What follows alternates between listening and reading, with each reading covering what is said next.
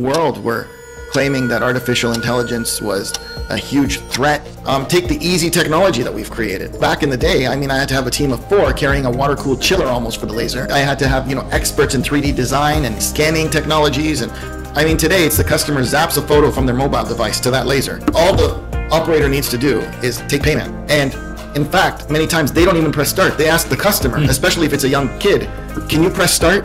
Because now the kid's eyes light up. They're the ones that feel like they're making it. When they press start, the table goes to position. They're able to witness it through the transparent window and see it being built in minutes. And to your point about, you know, AI, it's, you know, we, we started when, when most of the world were claiming that artificial intelligence was a huge threat, which is today the, the biggest issue amongst um, most companies' staff.